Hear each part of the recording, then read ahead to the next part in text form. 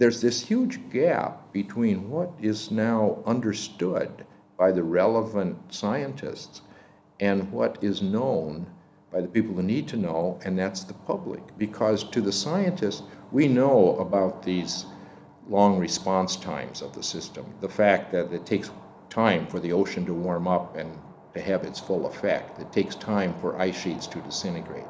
It takes time for the methane hydrates to really come out in a large amount. And so we see these things beginning to happen and we say, oh my gosh, we've got to tell somebody.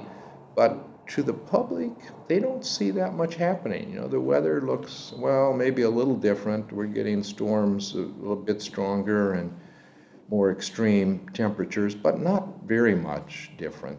And so it's hard for the scientists to make the public realize that we do have an emergency. If we continue to burn all the fossil fuels, we will certainly get those effects. We can't say exactly what date the ice sheet is going to collapse, but we know that the ice sheets will collapse and sea level will go up many meters. We know that methane hydrates eventually will come out. We can't say when it's going to be really rapid because these are what we call nonlinear problems, which means, you know, it's like, it's like the stock market.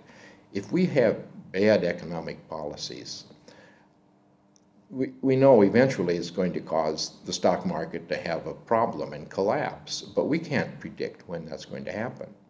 It's, it's uh, a difficult problem, and that's why it's difficult for scientists, because we can see that there's a problem, but how do we get the public to feel it? If we run around with our hair on fire, well, after a while they say, well, there's that guy with his hair on fire again.